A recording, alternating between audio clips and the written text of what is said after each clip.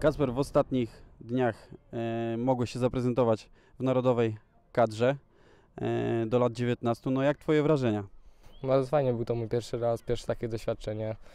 Zobaczyłem jak wygląda trochę piłka za granicą, sprawdziłem się też na tle innych zawodników. Myślę, że fajne doświadczenie. W pierwszym meczu z Anglią no dość wysoko ulegliście. Była spora różnica między wami a piłkarzami z Wysp Brytyjskich. Myślę, że była spora różnica, no, jednak zawodnicy z Anglii są bardziej wyszkoleni technicznie niż my. Pokazywali to w każdych zagraniach. My się staraliśmy bardziej skupić na defensywie, no i potem od tej 33 minuty no już to funkcjonowało lepiej. Faktycznie do tej 33 minuty straciliście kilka bramek, no ale później było już dużo lepiej. Ty zagrałeś w drugiej połowie i powiedz, jak ocenisz swój występ? Myślę, że dobry występ. Nie miałem zbyt dużo kontaktu, no wiadomo było to 10 minut, ale fajne doświadczenie. Myślę, że na plus. Jak zgrupowanie w Polsce w takim razie? Bo później w Sulejówku zagraliście z Kazachstanem.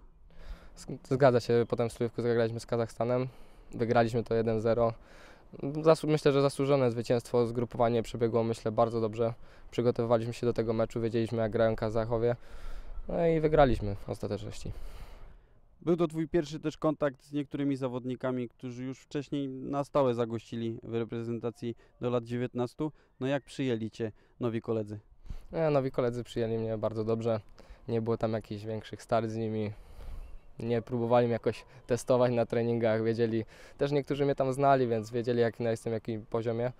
Przykład Daniel Mikołajewski, więc nie było jakichś tam większych e, No cóż, yy, kilka dni z kolegami nie trenowałeś, no ale teraz na pewno czeka cię spotkanie w Łęcznej, gdzie jedziemy na trudny teren do Górnika. No przydałoby się zrewanżować za porażkę sprzed półtorej roku, nie wiem czy ty ją pamiętasz.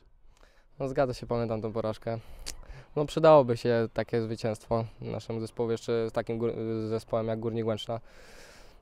Odgryźć się za tamto, no i jedziemy tam po trzy punkty na pewno. Podtrzymanie pasy os- z ostatnich dwóch spotkań no, jest niezbędne. No oczywiście, no trzeba będzie to podtrzymać, pokazać wyższość nad przeciwnikiem, no i robić swoje. No.